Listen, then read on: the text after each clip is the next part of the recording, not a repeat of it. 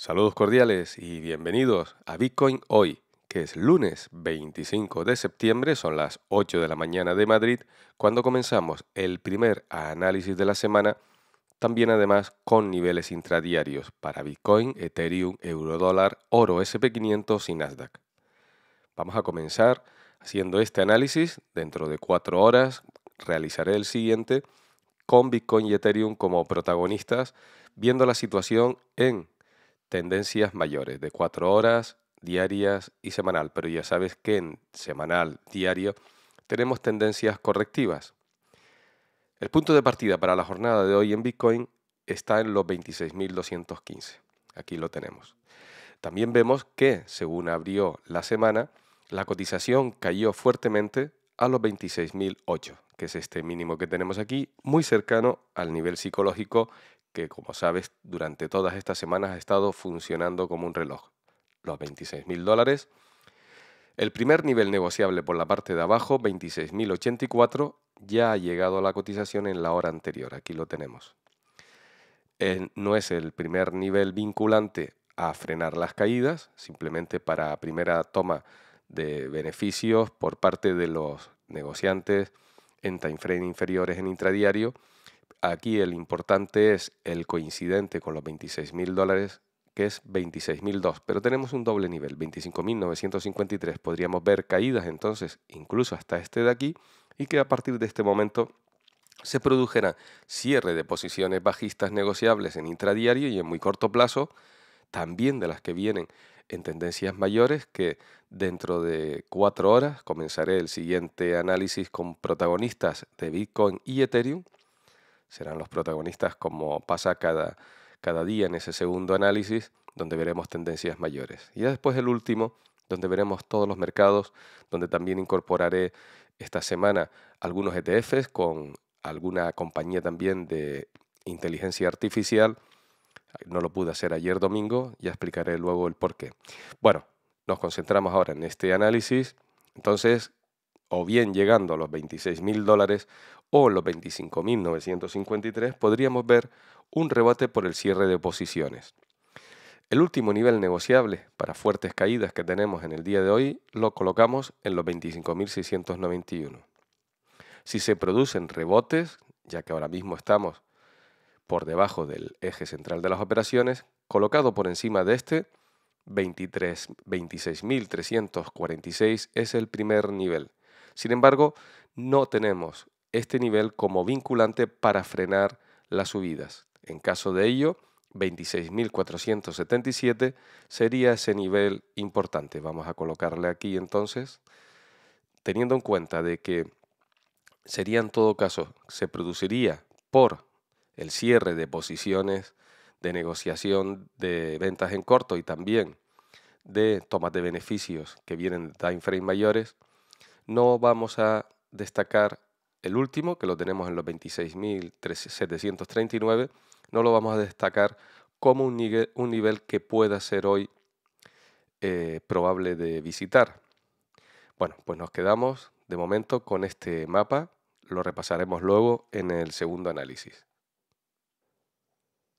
Continuamos con Ethereum, punto de partida y eje central para las operaciones 1.580 dólares. Por la parte de abajo, el primer nivel importante, que sería donde se podrían producir entonces el cierre de posiciones intradiarias y de otras negociaciones, lo tenemos en los 1.556, coincidente con los 1.554, refugio de mediano plazo. Por en medio tenemos niveles ya vemos que llegó a los 1564 en la primera negociación, lo mismo que pasó con Bitcoin, hubo una fuerte volatilidad a la baja, en este caso llegó a los 1564.10. Se quedó aquí justamente y fue el nivel donde rebotó. No es tampoco el nivel que puede cerrarle el paso a la cotización en estas caídas, lo dejamos en los 1556 y por último tenemos por debajo también los 1548. Este es el último nivel. En caso de recuperaciones, por la parte de arriba, 1603, coincidente también con los 1600, nivel que es eh, psicológico de segundo grado, y por en medio no vamos a destacar. Tenemos 1586, 89 y 95 como niveles que puede llegar y darle la vuelta, sobre todo el primero, como así ocurrió a primera hora o a segunda hora, los 1586, pero hoy de momento miramos a la baja y se pueden producir rebotes, igual que en Bitcoin, por el cierre de posiciones bajistas, tomas de beneficios. Pasamos ahora al euro dólar, negociación intradiaria con el punto de partida en los 10648. Tenemos un mapa muy similar al de la, la jornada del pasado viernes.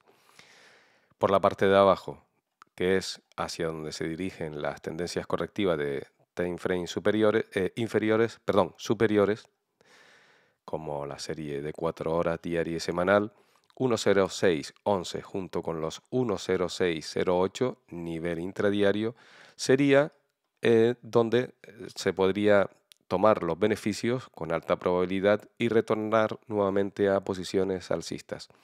Por en medio tenemos uno que son los 10623 y nos vamos a quedar con este también. Los de abajo no los vamos a tomar en cuenta. Sabemos que la tendencia correctiva lleva la negociación hacia los 1.05546, refugio de largo plazo.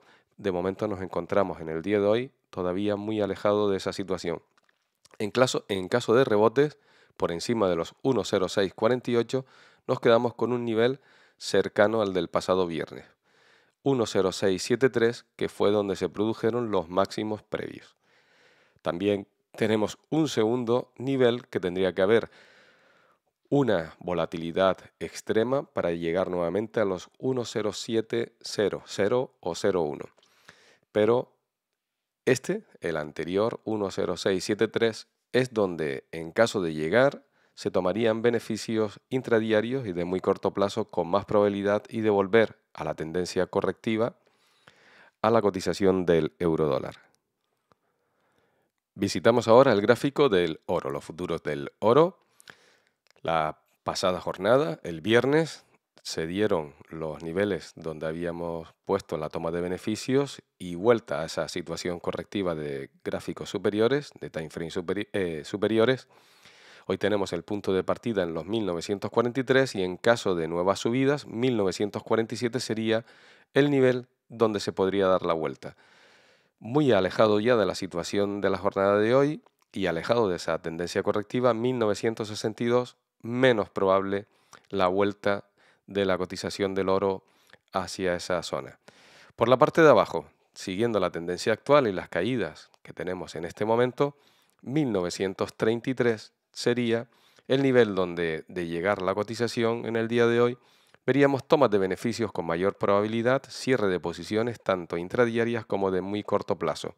El último nivel negociable que lo atraería en caso de fuerte volatilidad a los 1918 lo tenemos aquí, un punto arriba, 1919. Este es el mapa que vamos a dejar para la jornada de hoy en el oro. En cuanto a los índices de Estados Unidos, SP500 y Nasdaq, la jornada pasada también, el pasado viernes, se dieron esos niveles donde se generaban la toma de beneficios, como podemos ver. Nos concentramos en el día de hoy, 4.372 puntos. Desde que ha abierto el día no se ha movido de esta zona la cotización.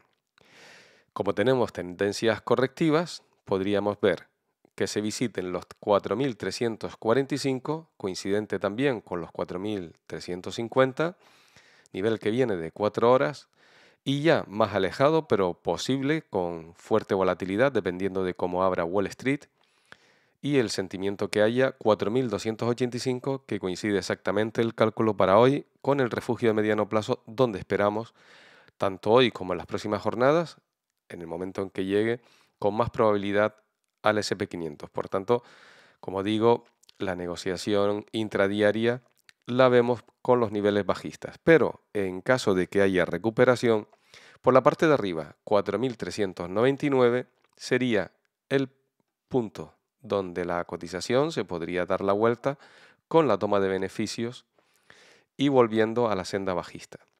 Ya muy alejado para la jornada de hoy y menos probable ver visitar los 4.460, coincide también con el 6180, son niveles que vienen de 4 horas.